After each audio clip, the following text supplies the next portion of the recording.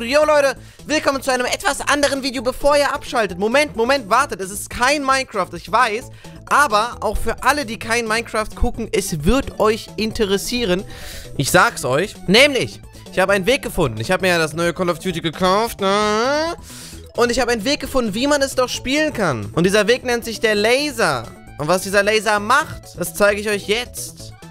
Und zwar gibt es ja in diesem Spiel den Laser, welcher unendlich Munition hat, welcher einfach die ganze Zeit rumballern kann. Natürlich überhitzt er dann, aber dafür kann man ihn dann einfach auslüften und fertig ist.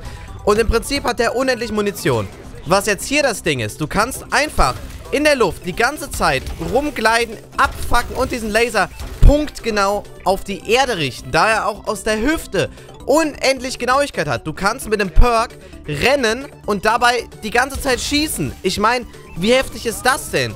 Und genau deswegen mache ich das. Weil eigentlich ist dieses Spiel relativ in Ordnung, aber es hat halt einfach diese unglaublich heftigen Balancing-Probleme, wo einfach eine Waffe extrem krass ist und das ist halt eben diese hier. Und jede andere Waffe ist absoluter Bullshit, meiner Meinung nach. Man kann nichts anderes machen, außer halt sterben mit den anderen Waffen. Deswegen spiele ich auch nur noch diesen Laser. Und so lange, bis die das nicht endlich raffen, die Entwickler, dass man ihr Spiel fertig gebalanced auf den Markt bringen soll, so lange spiele ich das auch. So lange, bis das gepatcht ist. Und deswegen habe ich mir gedacht, es wäre doch lustig, wenn alle, wenn alle Leute auf diesem ganzen Planeten, wenn alle Menschen in COD Advanced Warfare nur so asozial und behindert spielen wie ich. Also das heißt, Laser raus, rumhüpfen und die ganze Zeit alle Leute damit wegfetzen. Guckt's euch an! Guckt's euch an! Und deswegen möchte ich, dass ihr dem Laser Squad joint und einfach die Klasse, die ich hier einblende, kopiert und dann damit die ganze Zeit die Leute abfuckt, in den Chat schreibt, join the Laser Squad oder irgendwie sowas.